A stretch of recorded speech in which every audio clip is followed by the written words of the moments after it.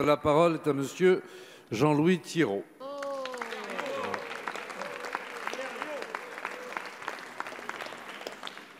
Merci, Monsieur le Président. Ma question s'adresse au ministre de l'Intérieur. Il est arrivé du Pakistan de manière irrégulière en se déclarant mineur. Un juge a validé cette prétention le 24 septembre.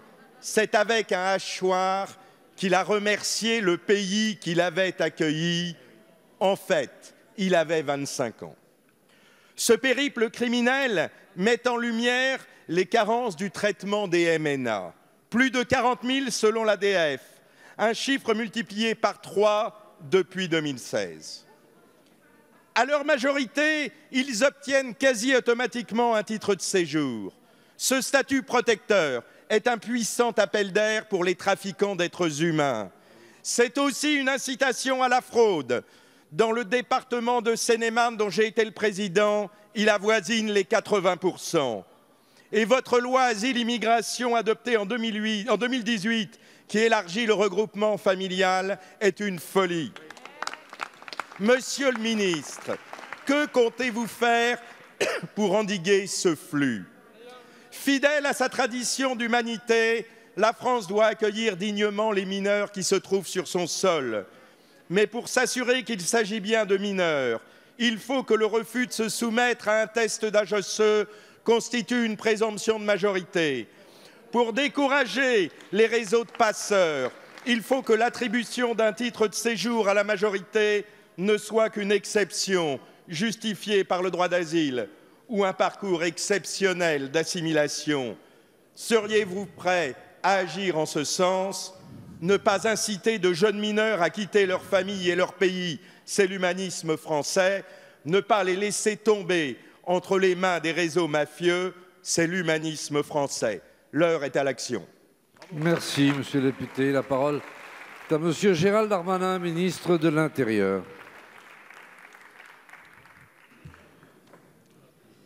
Monsieur le Président, Mesdames et Messieurs les députés, Monsieur le député euh, c'est parce que vous étiez c'est parce que vous étiez président d'un conseil départemental et que vous connaissez la difficulté de cette question, et c'est parce que vous êtes élu depuis un certain temps que vous savez qu'elle est difficile. Et vous auriez pu poser la même question d'un gouvernement précédent puis précédent, où il y aurait eu un débat où M. Mariani aurait évoqué les tests ADN, et vous n'avez toujours pas réglé collectivement la question, tant elle est difficile, parce que l'accueil sur le sol national de gens parfois persécutés dans leur pays, parfois euh, isolés de leur famille, parfois fraudeurs, parfois n'étant pas majoritaires. Continuez, monsieur le ministre. Je pensais que la question était grave, monsieur Jacob, et qu'il ne méritait pas de politique aérie.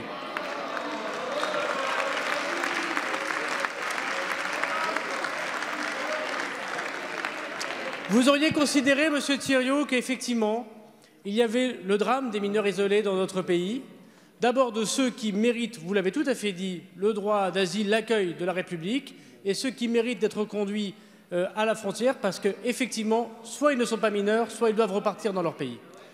Alors, dans votre euh, démonstration, permettez-moi de dire que le parallèle que vous avez fait avec l'attentat ignoble de vendredi dernier n'est pas tout à fait juste. Le préfet du Val-d'Oise et le département ont fait leur travail. Et le test osseux a été certes refusé par le juge, mais le test osseux, vous le savez bien, n'est pas à 100% euh, bon. Et c'est aussi pour cela qu'il a été refusé pour les juges. Il y a aujourd'hui un drame des mineurs isolés, notamment venant du Maroc, notamment venant de l'Algérie, mais aussi de la Tchétchénie ou du Pakistan. Je me rends au Maghreb la semaine prochaine à la demande du Premier ministre et du Président de la République pour régler le problème qui relève notamment des pays du Maghreb, qui est l'essentiel des problèmes que nous posons.